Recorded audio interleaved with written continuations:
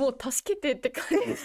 夜明けかな？夜明けって感じですっていうことを言っておきます。侵入するまで待っててね一ノ式美先生の作品です。これまた切ない。えっと私の中で、うん。あの一番泣けると記憶喪失っていう言葉が浮かんだ時にまあこの作品が思い浮かびまして確かに。まあ、泣きすぎて、うん。あの本当ちょっと光寄りの夜明けの不女子なんですけど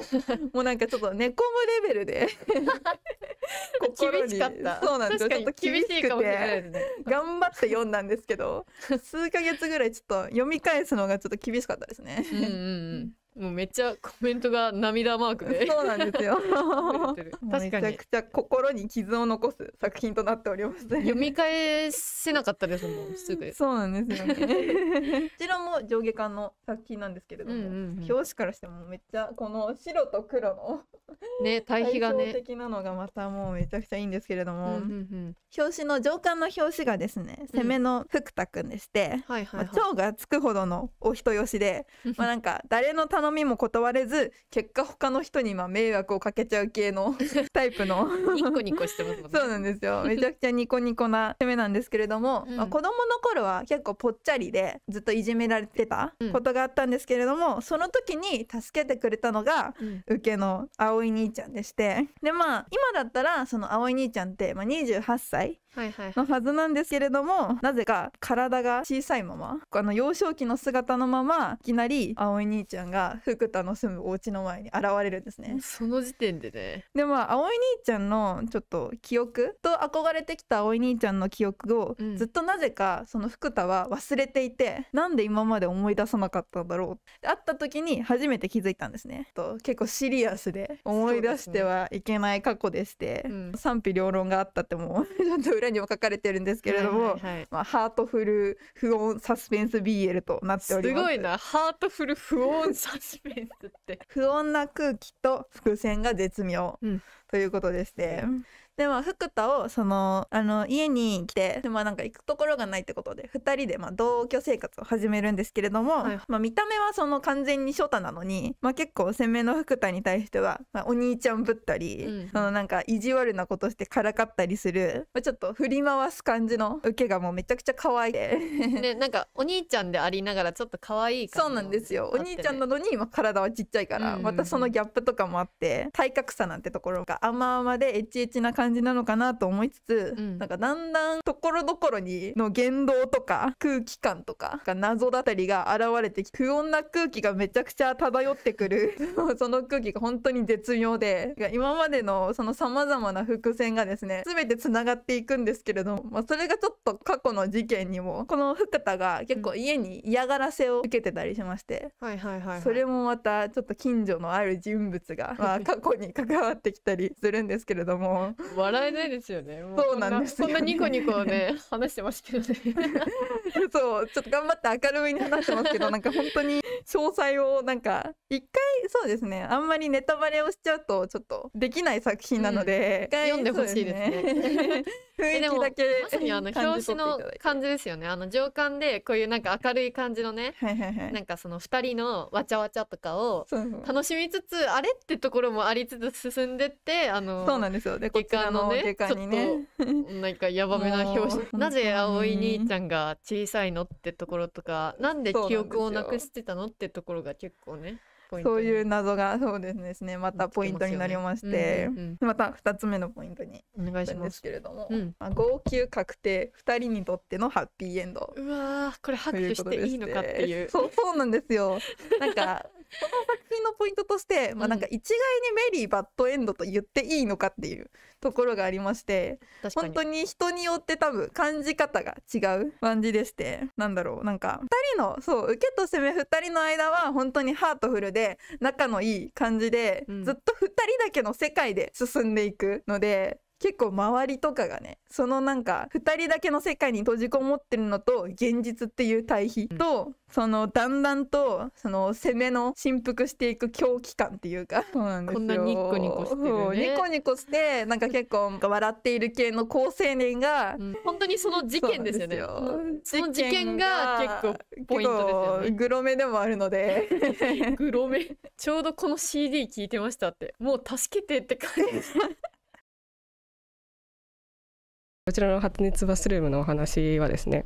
えっ、とまあみはるちゃんっていう子が主人公でその表紙の下にいる髪髪色が銀髪金髪っぽい子ですね。みはるちゃん。ブラック企業に勤めるサラリーマンでございます。その子はもうめちゃめちゃ不憫受けっていう感じで会社もねブラック企業でもあの社畜としてこう疲弊してるんですけどもうなんかもう日々のささやかな幸せに心の支えにして生きているみたいなそういうけなげな子なんですけども天涯孤独なんですねその親戚とかいなくて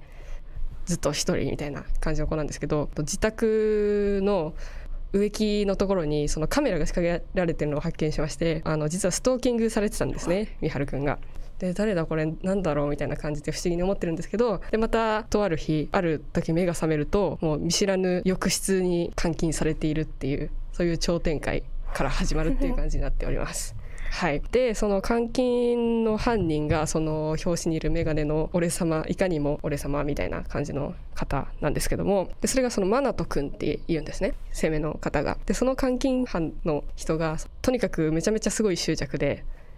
多画面モニターみたいな。バーッとこうその監視カメラの、ね、このモニターに映してこう監視してるみたいなそういうヤバめのそう執着攻めなんですけど。でまあその監禁生活が始まってからはもうなんかあのいきなり襲ったりとかまあなんかでも結構ねデレデレなんですよね。ヤンデレみたいな感じヤンデレ執着勢みたいな感じでこう優しいのか怖いのかわからんみたいな感じで監禁生活が続いていくんですけど、まあ、ある時みはるくんがその隙を見て脱走するんですね。脱走するんだけど、まあ、もちろんどこまでも追いかけてきてそうまた捕まっちゃってみたいな感じになるんですけどでまあ終盤になってからこのなんで監視されているのかとかなんで監禁されているのかみたいなこれもなんかあの真実が明らかになっていく系ですね。BL ということで。これもなんか伏線とかがいろいろあったりしてあのサスペンス的なところもある感じです。はい。はい。こちらです。ストーカー執着攻めレベル100ってことなんですけど本当にこのあのストーカーものがお好きな方はぜひ そんなそそんな人いるのかな？いるか？あのねあの執執着攻めの太鼓長みたいな感じですけど。そう。ストーキングの方法がとにかくいかれているっていう感じなので、あれですね。その一回脱走した時もなんかイカ工場みたいなところに潜伏するんですけど。なんか海鮮加工工場みたいなところにあの三原くんが脱走して潜伏するんですけどそれもなん。かその同僚のツイッターに映り込んでる三原くんの写真を割り出して追いかけに行くみたいな本当にもうとにかくストーキング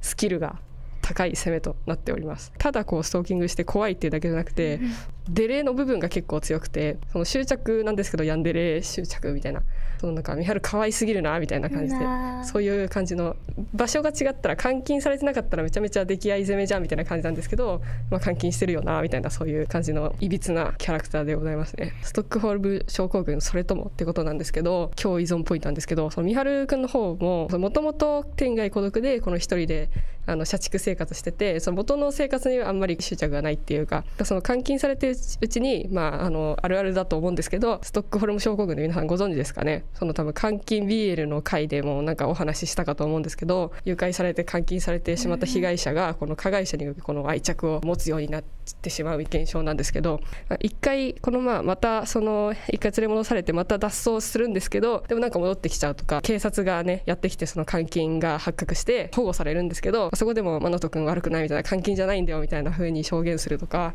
もうなんか三原君の方もなんかなんかほだされるっていうとなんかそれよりもっと不穏な感じもあるんですけどなかなかこのマナト君の方にこう肩入れしている感じではありますね。もう離れられないというか、うん、最後のところがバスルーム監禁のバスルーム監禁の真相はってことなんですけどヤンデレ監禁ビールみたいな感じで進んでいくんですけど、まあ、実はそれには理由があってみたいなのがもう終盤でドドドッとね、来るんですよ。こう読んであなるほどなってなるみたいなそういう感じの謎解きというかなんというかそうこの側面もとても面白い作品ですね。はいありがとうございます。うんそうだこれもねその最後どうなるかっていうところなんですけどこれも夜明けかな？夜明けって感じですっていうことを言っておきますあの安心して読んでいただいていいんじゃないかなというふうに思いますね。